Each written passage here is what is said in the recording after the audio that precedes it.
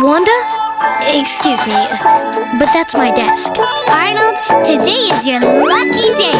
So, why don't you and Bella get acquainted while I unpack her stuff? Bella!